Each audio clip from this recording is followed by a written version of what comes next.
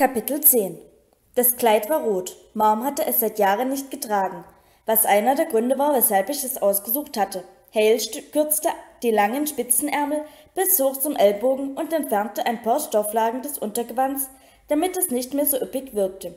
Die Änderungen waren in der Tat irreversibel, zeugten aber von so viel Geschmack, dass Mom, sollte sie es schließlich doch noch zurückhaben wollen, vermutlich begeistert sein würde. Eloise half bei mein, mir bei meiner Frisur, Zöpfe, die am Hinterkopf zu einem schlichten Knoten verschlungen waren, was überaus schick aussah. Dazu entschied ich mich für ein Diadem mit Rubinen, mit dem mein Kopf aussah, als würde er in Flammen stehen. Ich war wirklich wunderschön und unendlich dankbar für all die helfenden Hände, die mich in jemanden verwandelt hatten, den man ruhig mit wichtigen Entscheidungen zum Wohle des Landes betrauen konnte. Mein Aufzug kam mir recht erwachsen vor, erwachsener als ich mich fühlte, aber wahrscheinlich kam es dem Alter näher, demgemäß ich mich verhalten sollte. Seufzend machte ich meinen Frieden mit dem Kleid. Das war nun also erstmal mein neues Ich. Im Studio zupfte ich gerade an den Säumen herum, als Josie auf mich zukam. Das Kleid ist ein Traum, lobte sie mich und konnte ihre Finger nicht von dem Satinstoff lassen. Ich fummelte weiter an den Nähten. Es gehört meiner Mutter. Tut mir übrigens sehr leid, was mit ihr passiert ist, sagte sie leise. Ich glaube, das habe ich dir noch gar nicht gesagt. Ich schluckte. Danke, Josie. Das weiß ich zu schätzen. Jetzt, wo gerade alles so furchtbar ernst ist, wäre es doch vielleicht eine gute Idee, eine Party zu geben? Ich schnaubte. Ich habe wirklich genug anderes um die Ohren. Vielleicht, wenn sich alles wieder beruhigt hat. Ich kann sie gern für dich planen. Ich spreche mit den Portinerinnen und wir könnten innerhalb einer Woche etwas auf die Beine stellen. Ich wandte mich vom Spiegel ab. Wie ich schon sagte, vielleicht demnächst, aber nicht jetzt. Ich entfernte mich und versuchte mich auf meinen Auftritt zu konzentrieren.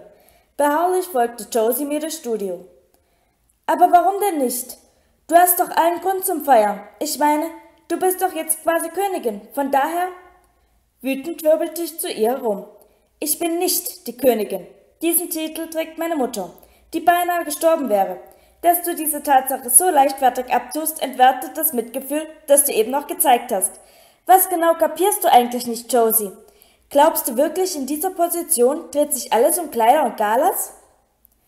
Bestürzt stand sie da und blickte sich um, wahrscheinlich um fest, festzustellen, ob jemand unseren Wortwechsel verfolgte. Ich hatte gar nicht die Absicht, sie zu demütigen. Irgendwie verstand ich sie sogar. Höchstwahrscheinlich hatte es mir selbst auch einmal riesengroße Freude bereitet, Gästelisten zu erstellen. Und vermutlich hatte ich damals genau wie sie geglaubt, alles drehe sich nur um Kleider und Galas. Ich seufzte. Ich möchte dich nicht kränken, Josie. Aber es wäre unangemessen, eine Party zu geben, während meine Mutter sich noch von einem Herzinfarkt erholt. Was ich heute Abend gut gebrauchen könnte, wäre ein gewisses Maß an Verständnis von deiner Seite was vielleicht angesichts unseres Verhältnisses zu viel verlangt ist. Aber damit ich nicht durchdrehe, flehe ich dich an, zumindest zu versuchen, dich in meine Lage zu versetzen. Genau das tue ich seit jeher, schmollte sie. Aber das interessiert dich natürlich nicht, wenn es dir gerade in den Gra Kram passt. Am liebsten hätte ich ihr den Kopf abgerissen. Welchen Teil meines momentanen Lebens hielt sie bitte schön für angenehm? Egal, ich musste mich jetzt mit der bevorstehenden Sendung beschäftigen. Entschuldigen Sie bitte, rief ich zu einer Dienerin. Geleiten Sie Miss Josie bitte auf Ihr Zimmer. Ihr Verhalten heute Abend bringt mich aus dem Konzept und ich muss mich konzentrieren. Ja, Eure Hoheit. Fröhlich und willens, diese Aufgabe zu erfüllen, wandte sich die Dienerin Josie zu. Unsere persönlichen Probleme kümmerten sie nicht. Ich hasse dich, schnappte Josie verärgert. Ich zeigte zur Tür. Schön. Und das kannst du von deinem Zimmer aus genauso gut tun wie hier. Ohne abzuwarten, ob sie gehorchte, ging ich zu meinem Platz. Die Sessel auf dem Podium waren völlig neu angeordnet. Die Elite auf der einen Seite und ein einzelner Sessel auf der anderen. Während ich noch auf den einsamen traurigen Sessel schaute, schlängelte sich Kyle zu mir durch. Was war denn eben los mit dir und Josie? Ich lächelte und schlug die Augen nieder. Nichts, mein Liebster. Ich bezweifle nur gerade ernsthaft daran, ob ich sie gern zur Schwägerin hätte. Dafür ist es immer noch zu früh. Ich lachte. Nein, wir hatten eine Meinungsverschiedenheit. Und irgendwie fühle ich mich mies, weil ich sie eigentlich verstehen kann. Ich wünschte nur, sie könnte auch mich verstehen. Das dürfte Josie schwerfallen. Sie sieht nur sich selbst. Aber sag mal, hast du eine Ahnung, wo Gunnar steckt? Ich runzelte die Stirn. Er ist heute Nachmittag abgereist. Hat er sich nicht verabschiedet? Kyle schüttelte den Kopf. Ich ging hinüber zu den anderen Jungs, die sich alle etwas aufrechter hinsetzten, als ich mich näherte. Hat sich Gunnar von einem von ihnen verabschiedet? Verwirrt schüttelten sie den Kopf. Nur Fox räusperte sich. Er war kurz bei mir. Er ist wohl ein bisschen sentimental und kein Freund von langen Abschieden. Er meinte nur, das hier sei nicht das Richtige für ihn und dass er ihre Erlaubnis hätte abzureisen. Die hatte er. Wir sind im Guten auseinandergegangen. Fox nickte. Ich glaube, er fürchtete, sein Entschluss hätte ins Wanken geraten können, wenn er sich nicht so wenn er sich nicht sofort auf den Weg gemacht hätte. Ich soll euch allen sagen, wie sehr er euch vermissen wird. Er lächelte. Ein echt netter Kerl. In der Tat, aber bitte nehmen Sie sich Folgendes zu Herzen, sagte ich und schaute die Mitglieder der Elite der Reihe nach an. Hier geht es auch um Ihre Zukunft. Bitte bleiben Sie nicht für etwas, mit dem Sie dann später vielleicht gar nicht zurechtkommen. Kyle nickte. Er wirkte plötzlich sehr nachdenklich. Hale schenkte mir ein strahlendes Lächeln. Ian war so ungerührt wie immer und Henry lauschte Erics Übersetzung und sah verwirrt aus. Sehr wahrscheinlich würde ich den Rest des Abends damit verbringen, ihre Mienen zu interpretieren. Aber jetzt mussten wir erstmal eine Show abziehen. Hale, flüsterte ich und zeigte auf mein Kleid. Danke. Wunderschön, formte er mit den Lippen. Ich wusste, er meinte es ernst, und ich gab mir Mühe, besonders aufrecht zu sitzen. Ich wollte diesem Kleid heute Abend gerecht werden. Die Kameras gingen auf Sendung und ich begrüßte das Land, so offen und herzlich ich konnte. Guten Abend, Ilea. Als erstes möchte ich Ihnen das mitteilen, was Sie bestimmt am meisten interessiert. Meine Mutter geht es besser. Sie ist in ihre eigenen Gemächer zurückgekehrt, wo sie sich erholt. Mein Vater ist bei ihr. Ich versuchte nicht länger darüber nachzudenken, wie ich stand oder was ich mit den Händen tun sollte. Stattdessen dachte ich an meine Eltern, die zweifellos den Bericht verfolgten. Im Pyjama und bei einem von den Ärzten abgesegneten Imbiss. Bei der Vorstellung musste ich lächeln. Wir alle wissen, wie eng die beiden miteinander verbunden sind. Daher ist es nur verständlich, dass mein Vater bis auf weiteres an ihrer Seite bleiben will. Und doch ist es mir nicht leicht gefallen, in die Rolle meines Vaters zu schlüpfen. Mein Bruder Aaron, nunmehr Prinzgemahl von Frankreich, ist ebenfalls ein Beweis für die große Macht der Liebe. Soweit ich weiß, hat er sich bereits mit seiner neuen Position angefreundet und ist glücklich darüber verheiratet zu sein. Wieder überkam mich ein Lächeln. Mich überrascht das alles nicht. Während der letzten Jahre ist seine Zuneigung zu Prinzessin Camille weiter gewachsen. Der großen Entfernung zum Trotz. Daher vermag ich mir sein Glück, nun ständig an seiner Seite sein zu können, kaum auszumalen. Was unser Land betrifft, an der Stelle musste ich leider einen Blick auf meine Karteikarten werfen, so sind die Unruhen, die wir in letzter Zeit erlebt haben, während der vergangenen Woche stark abgeflaut. Das entsprach zwar vollkommen der Wahrheit, doch was meine eigene Unruhe betraf, so hätte mir beim Sprechen eigentlich eine lange Nase wachsen müssen. Wenn man bedenkt, wie intensiv sich mein Vater in anderen Ländern als Friedensstifter engagiert hat, freut es mich umso mehr, dass nun auch in Elea friedlichere Zeiten angebrochen sind.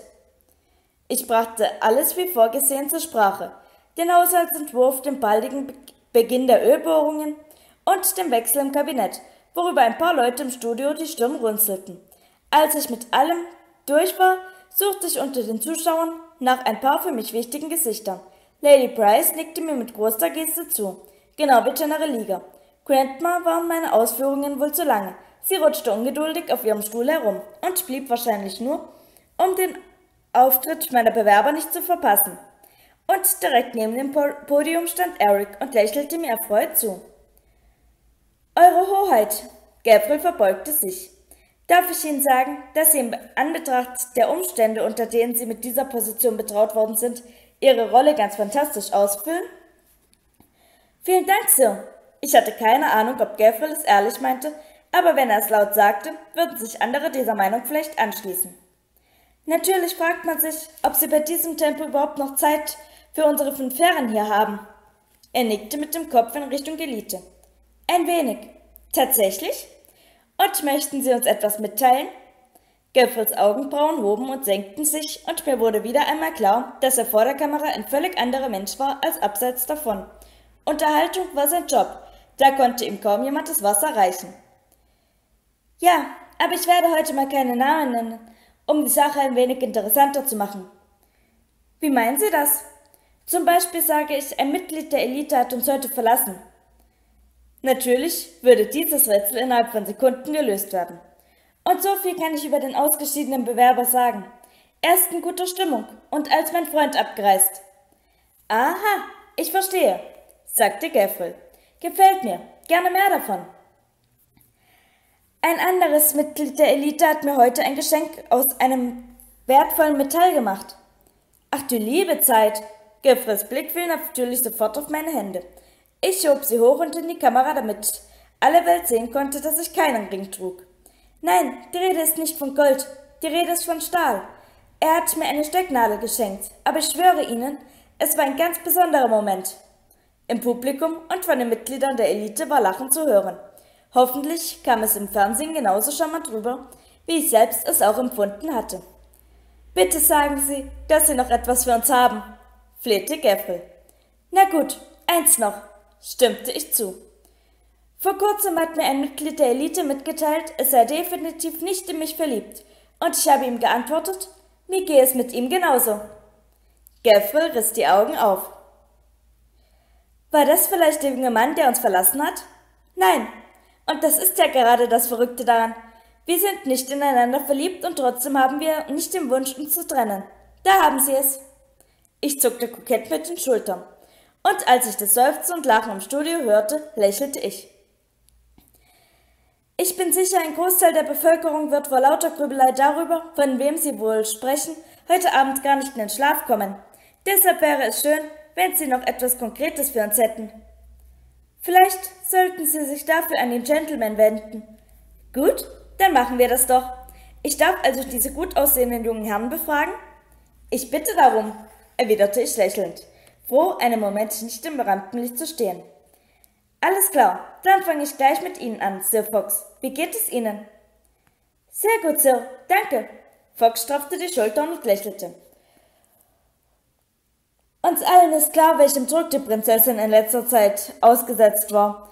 Sie hat so viele Termine, dass sicher kaum Zeit für Verabredungen unter vier Augen blieb, sagte Gerfried liebenswürdig. Ganz richtig. Ich fand es auch vorher schon beeindruckend, wie viel Prinzessin Edlin gearbeitet hat, und jetzt hat sie sich noch mehr aufgeladen. Dafür habe ich allergrößten Respekt. Ich neigte den Kopf und mir wurde warm ums Herz.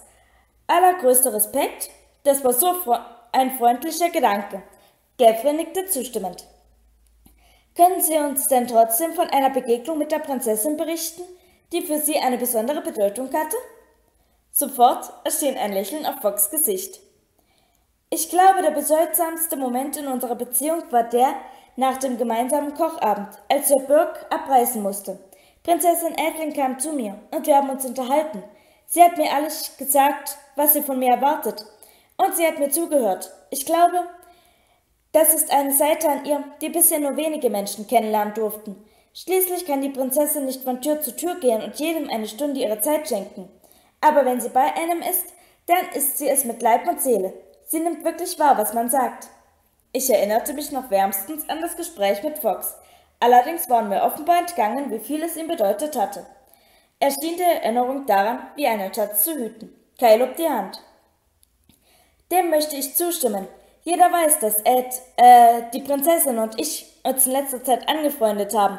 Und seitdem hat sie sich viele meiner Sorgen und Sehnsüchte angehört. Was denn zum Beispiel? ermunterte ihn Gaffel. Kyle bog den Kopf. Vielleicht klingt es nicht gerade aufregend, aber ich habe ein großes Faible für Architektur und die Prinzessin hat sich tatsächlich mit mir hingesetzt und sich meine Skizzen angeschaut. Er hob einen Finger, als fiele ihm plötzlich etwas ein. Zugegeben, wir hatten ein bisschen Wein getrunken und sicher fand sie es recht öde, aber trotzdem. Alle schmunzelten und ich lächelte Kyle an. Er wirkte ganz locker und natürlich vor der Kamera. Und immer sagte er so wundervolle Sachen. Es war richtig gewesen, ihm von meinen Gefühlen zu erzählen. Gaffel nutzte die positive Stimmung und ging an Henry vorbei zu ihnen.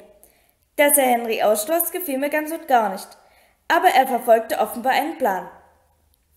Sir Ian, Sie sind wahrscheinlich der stillste der Herren. Möchten Sie etwas hinzufügen? Ian sah so cool aus wie immer. Ja, ich bin ein Mann weniger Worte, stimmte er zu.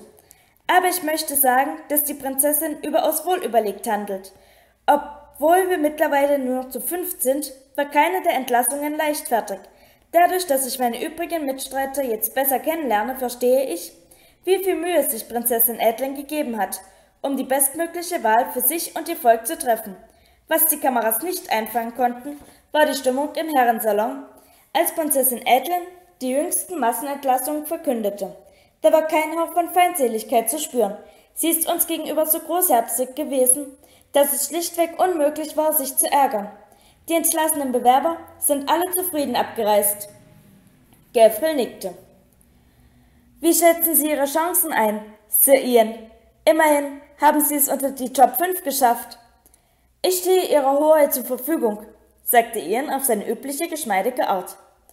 Eine bessere Frau könnte niemand von uns für sich gewinnen. Deshalb hat sie verständlicherweise auch sehr hohe Ansprüche. Hier geht es nicht um ihre Beurteilung meiner Gewinnchancen. Es geht um ihre Präferenzen. Und da müssen wir alle abwarten. So viel hatte ich Ian noch nie auf einmal sagen hören. Aber ich fühlte mich ihm gegenüber sofort zu Dank verpflichtet. Obwohl wir uns darauf verständigt hatten, dass unsere Beziehung gänzlich unromantischer Natur war, sah er dennoch so viel Gutes in mir. Oder aber er war ein begnadeter Schauspieler. Sehr interessant. Und wie steht es mit Ihnen, Sir Hale? Wenn ich mich recht erinnere, hatten Sie die allererste Verabredung mit der Prinzessin. Wie geht es Ihnen jetzt gerade? Ich bin glücklich, erwiderte Hale herzlich. Ich bin damit aufgewachsen, die Prinzessin bei Festumzügen im Fernsehen oder in Zeitschriften zu sehen. Er machte eine Geste in meine Richtung. Sie ist so wunderschön, dass es einem fast Angst macht. Und sie hat diesen Blick, der einen in die Knie zwingen kann, wenn dir danach ist. Seine Worte verletzten mich ein klein wenig, doch sie waren absolut zutreffend. Ich konnte mir das Lächeln also nicht verkneifen. Aber sie kann auch sehr lustig sein, fuhr Hale fort. Ich habe mit ihr zu Abend gegessen und sie so sehr zum Lachen gebracht, dass sie pusten musste und ihren Wein über den ganzen Tisch verteilte. Hale!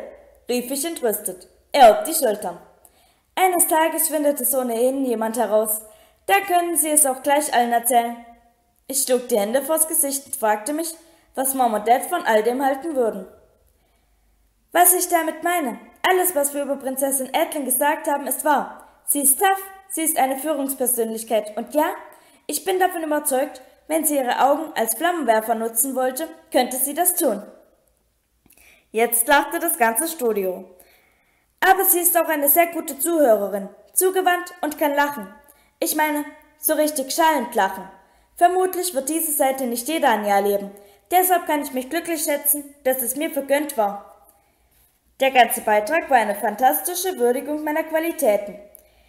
Insgeheim fragte ich mich, ob die Jungs vor der Sendung gecoacht worden waren. Wenn ja, dann war ich dem, der sich das ausgedacht hatte, zu unglaublichem Dank verpflichtet. Als die Kameras abgeschaltet wurden, ging ich hinüber zu Gabriel. Vielen Dank. Sie waren heute Abend wirklich hervorragend. Ich bin immer auf Ihrer Seite gewesen und werde es auch immer sein. Er zwinkerte mir zu und ging dann seiner Wege. Ich sah, wie sich der Zuschauerraum langsam leerte und stand einen Moment lang voller Stolz da. Ich hatte es geschafft, und zwar fast ohne Hilfe. Die Elite war großartig gewesen, netter als ich je gedacht hatte oder es mir erhofft hätte. Mom und Dad würden zufrieden sein. Gut gemacht.